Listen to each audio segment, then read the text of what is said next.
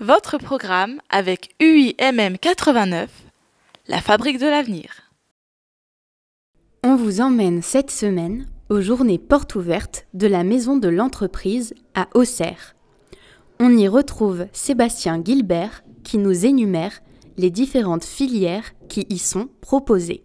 Donc au sein de la maison d'entreprise, on trouve déjà le pôle formation avec euh, principalement des formations autour de l'industrie, hein, que ce soit la production, la maintenance, la chalonnerie, l'usinage, le soudage également. On a également des formations donc, sur l'enseignement supérieur, euh, avec des écoles au sein de la maison d'entreprise. Donc on retrouve l'EPSI, qui est une école informatique.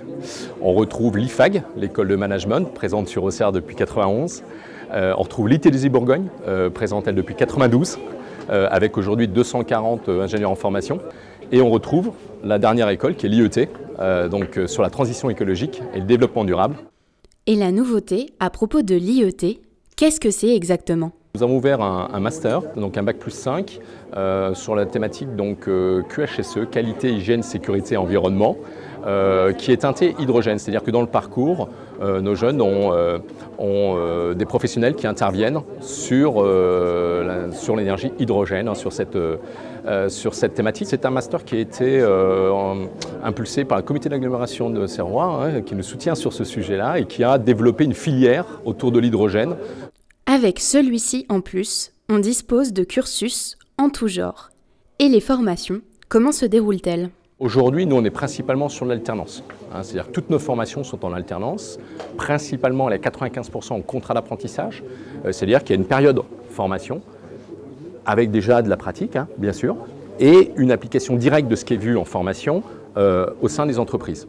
Voilà, donc euh, euh, c'est un modèle qui fonctionne très bien, qui permet vraiment de faire de la mise en pratique, et c'est ce qu'attendent aujourd'hui nos jeunes, et ça répond aussi à un besoin au niveau des entreprises.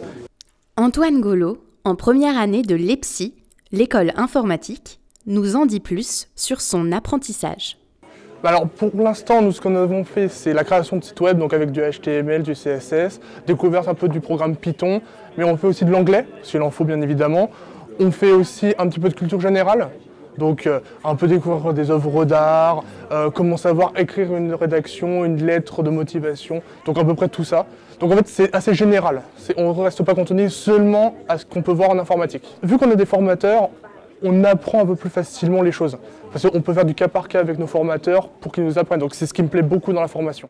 La prochaine journée des portes ouvertes se déroule le 18 mars à la maison de l'entreprise, au 6 route de Moneto à Auxerre.